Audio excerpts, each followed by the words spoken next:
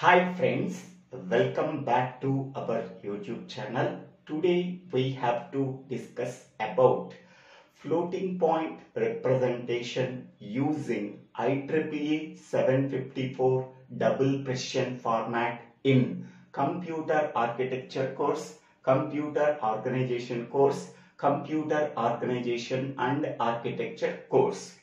Uh, this is the given example problem. Now we have to solve this problem.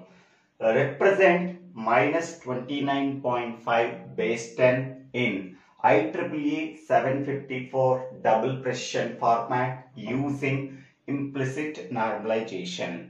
Before solving this uh, problem, first of all, we have to know about IEEE 754 double precision format. This is the IEEE 754 double precision format. It consists of 64 bits starting with 0 and ending with 63. These total 64 bits can be divided into three fields. The first field can be called as mantissa that can be denoted by M. 50, 52 bits are allocated for mantissa starting with 0 and ending with 51. The second field can be called as exponent that can be denoted by capital E. 11 bits are allocated for exponent starting with 52 and ending with 62. Next, the third field can be called as sign field. Only one bit is allocated for sign bit starting with 62 and ending with 63. These are the three fields in the 64-bit double precision format standardized by IEEE. Now, there are uh, two types of normalizations we have to use in double precision format. First one is explicit normalization. Second one is implicit normalization.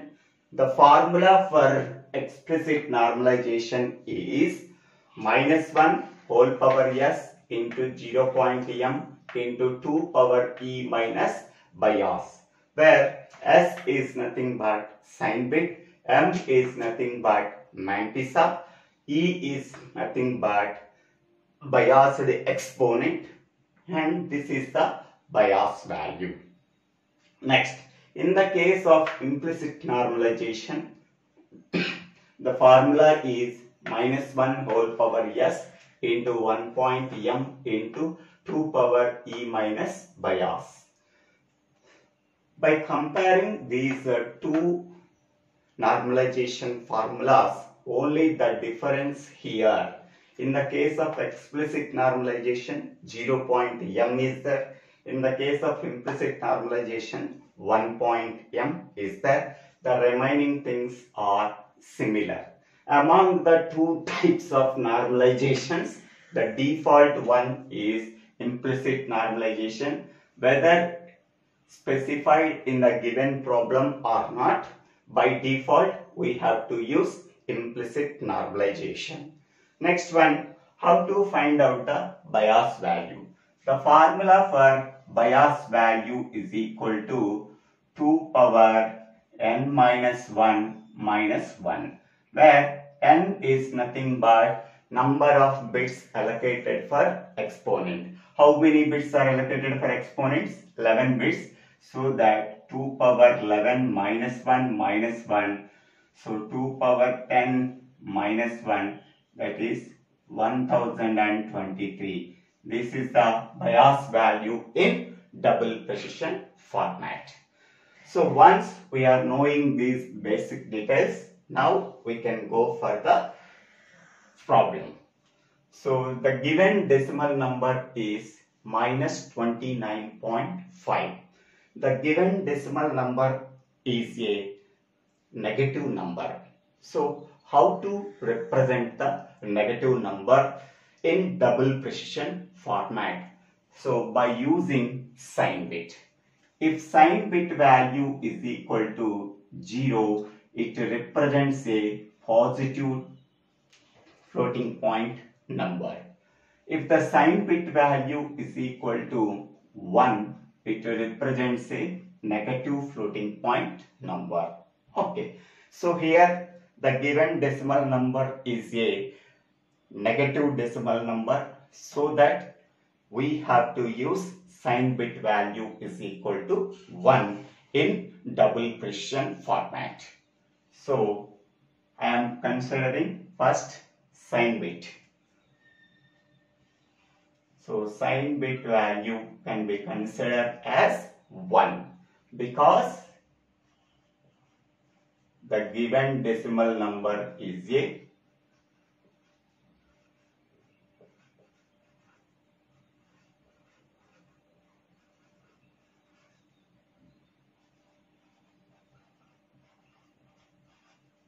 number is a negative floating point number. Negative decimal floating point number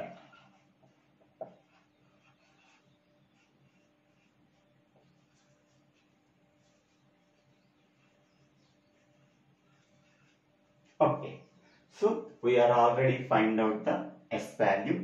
S value is 1 because the given decimal floating point number is a negative floating point number. Next, next we have to find out the this field mantissa field.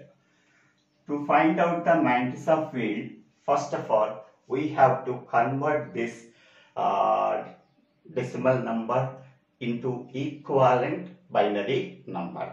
How to convert this uh, decimal number into equivalent binary number?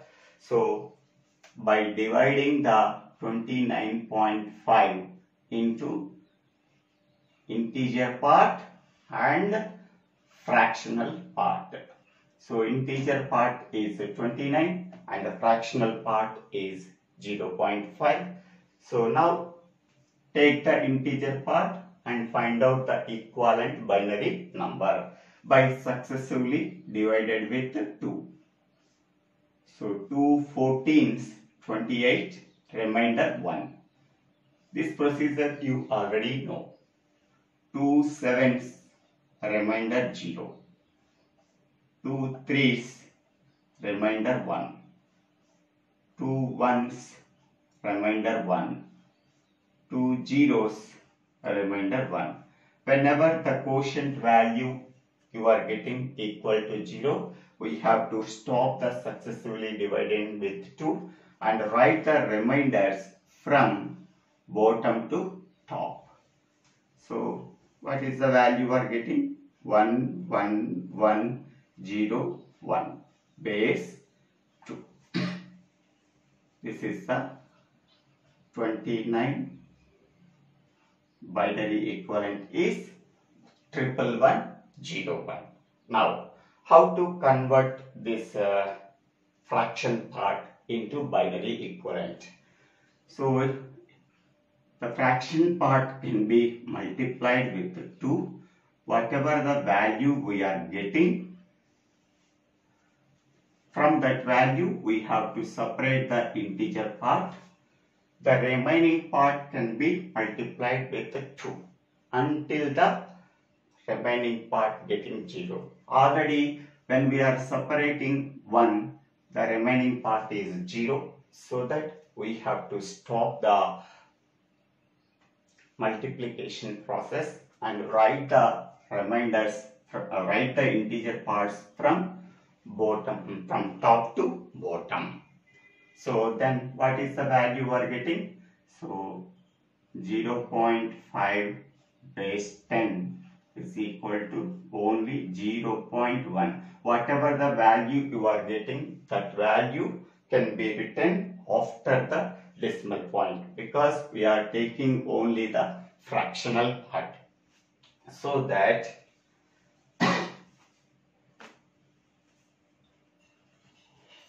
now we have to combine both.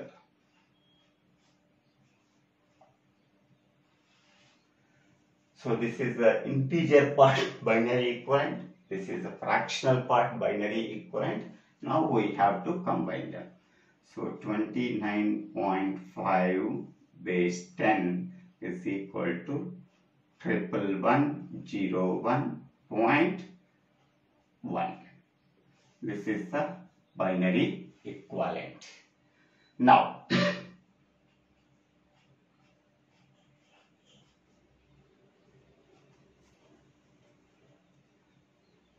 So now we have to use implicit normalization. In the case of implicit normalization, the decimal point is there after the MSB bit 1. After the MSB bit 1. Here the decimal point is there here. Now we have to move the decimal point towards left after the MSB bit 1. Okay, this is the MSB bit. So, to move the decimal point from this place to this place. How many places we have to move? So, 1, 2, 3, 4. 4 places we have to move. So that what is the value we are getting? 1.11011 it is multiplied with 2 power 4 because we have to move the decimal point 4 places towards left from right. How many number of decimal places decimal places we have to move the decimal point? 4 decimal places so that we have to multiply with 2 power 4. Now it is in the form of 1 point m into 2 power e minus bias. Clear? So it is in the form of 1 point m into 2 power e minus by bias. In the place of m, what is here is there? So m is equal to, m is always a fraction number. So that we have to write after the decimal point. So what is there here? 1, 1, 0, 1, 1. This can be called as mantissa. Mantissa value is, so this one is compared with this one. Whatever the uh, number after the decimal point, that number can be treated as mantissa. Next, third one. Third one, we have to find out the exponent value. Now, this value is compared with the, this value. That is 2 power e minus bias is equal to 2 power 4. So, these two things are we have to compare. Previously, this value and this value we have to compare. Now, this value and this value we have to compare. Here bases are equal, then powers are also equal. So E minus bias is equal to 4. Now what is the E value? E is equal to 4 plus bias. Already we know the bias value in double precision format is 1023. So 4 plus 1023 that is equal to 1027 1027 so e value is equal to 1027 what is the binary equivalent of 1027 so the nearest power is 2 power 10 what is the 2 power 10 value? 1024 what is the remaining value 3 nearest power is 2 power 1. So 1024 plus 2. What is the remaining value? Only 1. 1 means 2 power 0. So that is equal to 1027. So now what is the binary equivalent? We have to use the same procedure for 1027 So here I am writing 2 power 10 is there so that we have to write the value 1. 2 power 9 missing so that we have to put 0 value. 2 power 8 missing we have to use 0 value. 2 power 7 missing we have to put 0 value. 2 power 6 missing we have to put 0 value. 2 power 5 missing we have to put 0 value. 2 power 3 missing we have to put 0 value. 2 power 2 missing we have to put 0 value. 2 power 1 as it is there so that we have to put 1 value. 2 power 0 as it is there we have to put 1 value.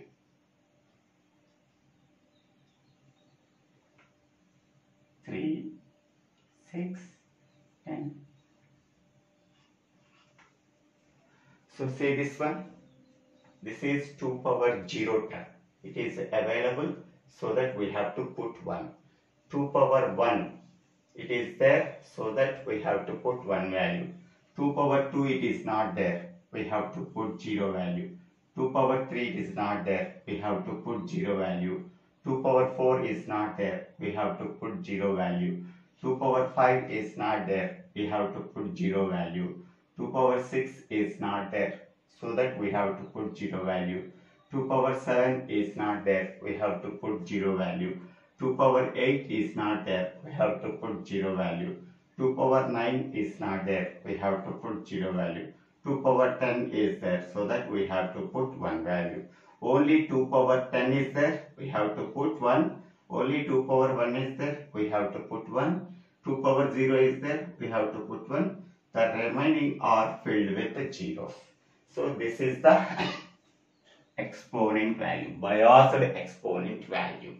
Now we already know the S value, we already know the N value, we already know the E value. Now it can be represented in double precision format. First, what is the sign bit value? Sign bit value is 1. So 1 bit for sign bit. Next one, what is the exponent value? This is the exponent value. So that is 11 bit. So 1, 3, 6, 8 zeros. 2, 3, 4, 5, 6, 7, 8 and 1 1. This is total 11 bits. And the Mantissa 52 bits.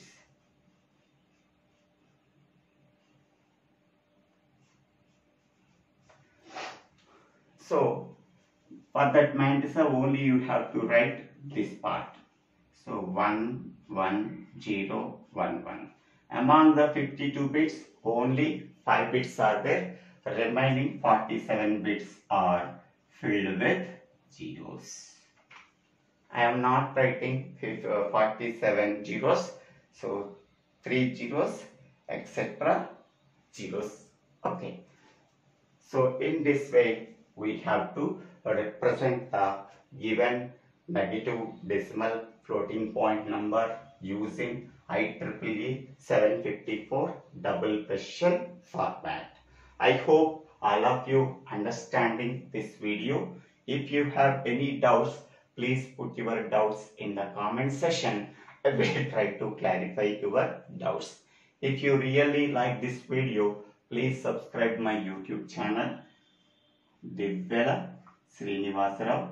After subscribing my YouTube channel, click on the bell icon to get the future updates in my YouTube channel. Don't forget to subscribe my YouTube channel. For better understanding, please refer the previous videos. Thank you. Thank you one and all for watching this video.